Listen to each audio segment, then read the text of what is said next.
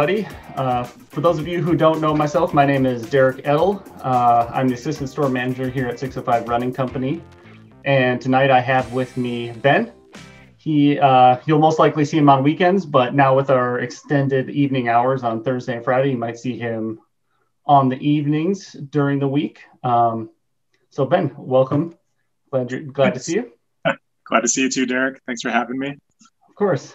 Um, so yeah, this this series is going to be the get to know us staff interview series, um, where we're just going to ask a couple quick questions to our staff, um, just to kind of familiarize everybody out there in the community with with us in the store, um, just to build that relationship, so you know who you're talking to a little bit more uh, when you come in, and just to get to know us a little bit better.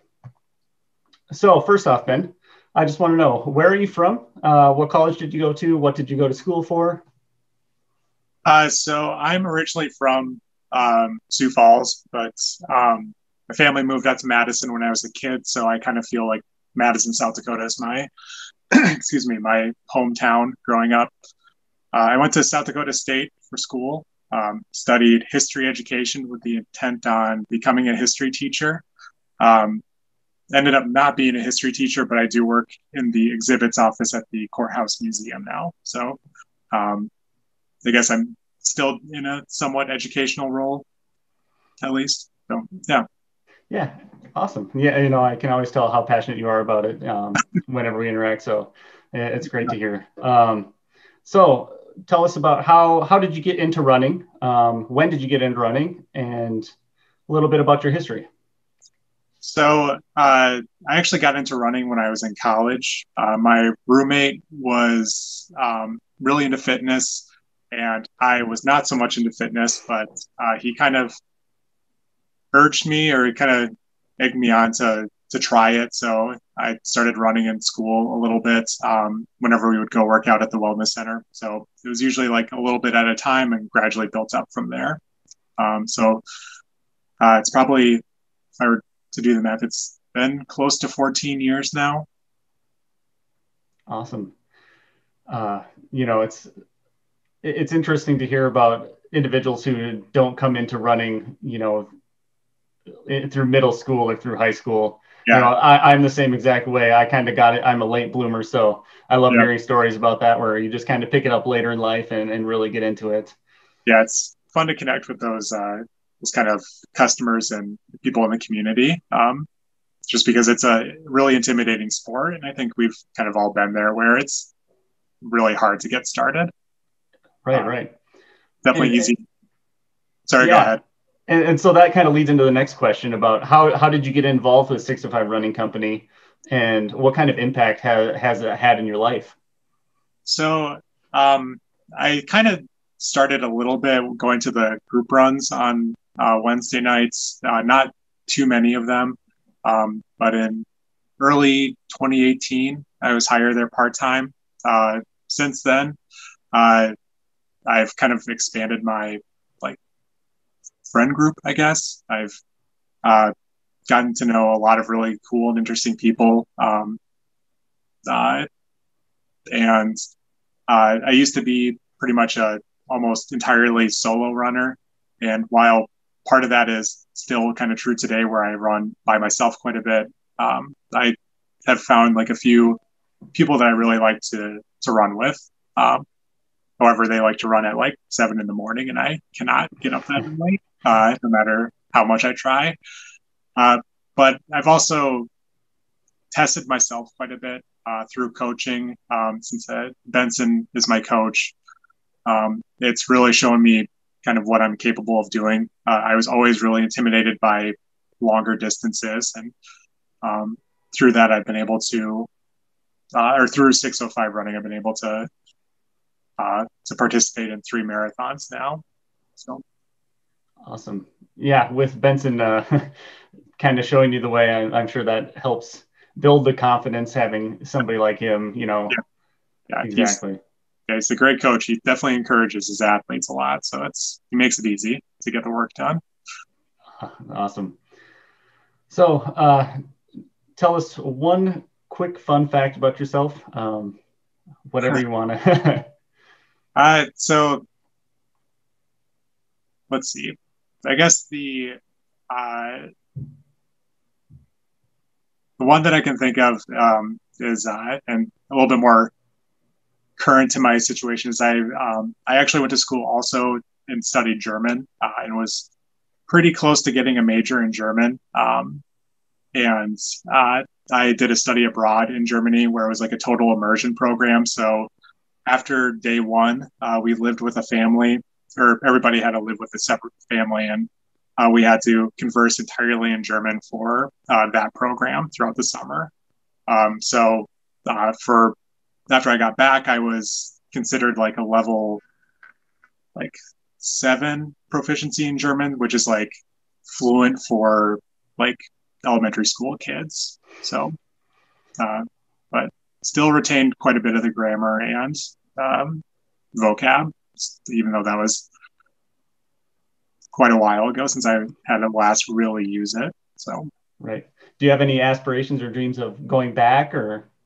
Yeah, um, it's actually been uh, this summer will be 10 years since I was last there. Um, and I've I've been slowly trying to draft like a, uh, an email or a letter to my host family that I lived there or that I lived with while I was there. So um, that's slowly coming together. And um, with my history background too, and some of the things that I'm interested in, um, I felt like I wasn't able to see as much as I wanted to uh, during that program. But uh, if I were to go back on my own, it'd be really cool to kind of be able to see the places and do the things that I want. Yeah. Awesome. Yeah, I hope that you'll get the chance to go back out there. That sounds awesome, especially if you're refreshing your your vocab and getting a little more comfortable again with it. That yeah. that'd be great. Awesome. So uh, moving along, just have a couple now kind of quick fire questions just about your running habits, your running preferences. Um, okay. So yeah, uh, do you prefer running on the roads or running on the trails? I, I have to be pretty honest. I, I love road running quite a bit. Um, I'm sure people who follow me on Strava see that I run almost the same segment of the bike trail almost every day uh, since I work so close to the bike path. So it's pretty convenient. But I do like trails every once in a while to kind of change it up a little bit. But uh, I'm a road runner at heart. Yep, I, I do see that that uh, you go past the airport, right? Yep, yep. the north the, side of the trail. Yep. Yeah, the really boring section. So. yeah, uh, and when you're out there, do you like listening to music podcasts, or do you like no music and no headphones? I I prefer listening to something. Um, usually for long runs, I'll listen to podcasts. But if I'm doing like a easy, like a like a easy day, um, that's an hour or less, I'll listen to music. Sure. Uh, favorite, uh, if you had to pick your an, an artist, if you're just going to go on a short run, who are you going to listen to? Oof, that's tough. Um, I don't. I'll I'll be pretty generic, and I'll just say Radiohead. Um, hey, nothing wrong with that. Yeah, they have a pretty deep discography, so it's easy to listen to a, a variety of things. Yeah. and uh, so you know it's getting a little bit warmer now but when it's icy and cold out do you prefer treadmill or do you prefer running out in the cold uh, i will bundle up and run out in the cold um, i actually prefer the cold over the heat quite a bit it's usually during like july and august where i kind of become a little bit of a wimp and will gravitate more toward the treadmill hey you know that's fair that's fair and uh as far as your workouts are concerned, do you like uh, hill workouts, speed workouts, or long runs? What's your favorite? Uh, I would say either long runs or speed work. Um, yeah, hills. Uh, Benson's had me do the uh, Tuthill uh, a number of times, and I feel like every single time I do that, it just kicks my butt. So, uh, where speed work, it's still difficult, and same with long runs. But uh, yeah, um, yeah, it's it's just a little bit of a different uh, kind of running. Sure. yeah, living in Sioux Falls, you kind of have to be intentional about trying to hit hills uh, versus living in other places. You know. Yeah, you have to seek out those like two hills, I guess.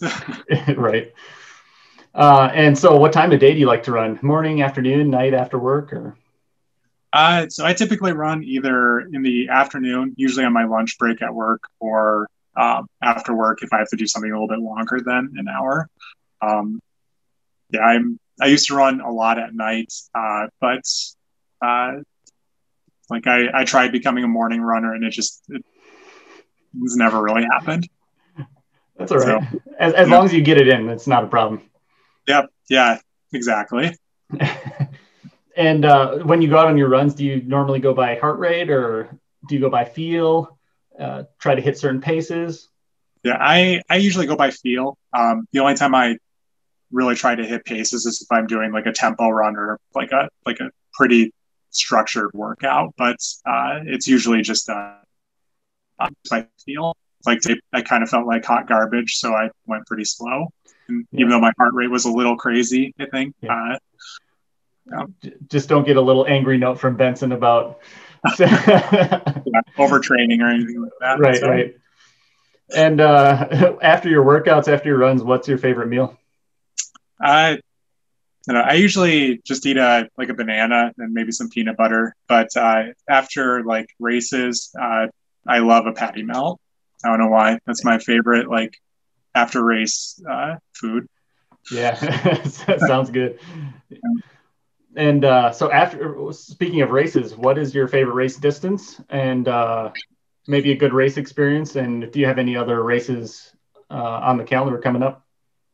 Uh, so favorite race distance is kind of a weird one. Um, it's 15.25 miles. Uh, it's the Jack 15 which is the longest continuous run running a road race in South Dakota. Uh, and uh, I don't know, just kind of a weird, just a weird race because you start off in the small town of White and then you run 15 miles to Brookings, and the campus at SDSU. Uh, there's literally two turns during the entire race. Uh, so I have a pretty good friend and I do that uh, every year uh, in September or October. Awesome. Yeah, I see the shirt. So. yeah, yeah, I, I, had to represent, so that yep, was pretty yep. intentional. But... Perfect. Uh, yeah, I hear that's a fun one. I'd love to get out there and, and try yeah, it sometime as well. That's great. It's it's challenging, but it's not that like I don't know. It's like a, it's a happy medium between a, a half marathon and a full marathon. And I, I, think they even call it an ultra half. So that's amazing. I love it. Yeah. I love it. Uh, so, what's your uh, favorite race shoe or favorite daily trainer shoe that you're in right now? Uh, so the one that I I love and that I feel like I pull for a lot of customers is uh, the Skechers Razor.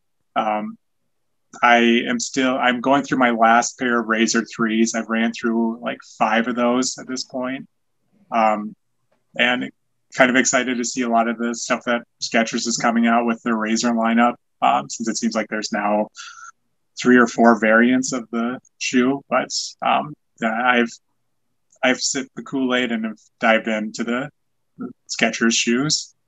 Yeah, you and I both. Yeah, I, I, can't wait. The yeah, new we were just talking about that last or the other week. right, the new Razor Excess will be coming to the store soon. Um, awesome. So I can't wait to to get that on feet and, and and try that out and let everybody out there try that as well. It's, yeah. It's, looks like a pretty exciting shoe. So yeah, I've heard great things about it. So yeah, but anyways, that uh, is all the questions I have for you tonight. Then, um, with that, unless you have any more tidbits you want to share with us, I think we can uh, close it down for tonight. Yeah, that sounds good. I don't really have anything else to add. Awesome. Thank you so much for joining us.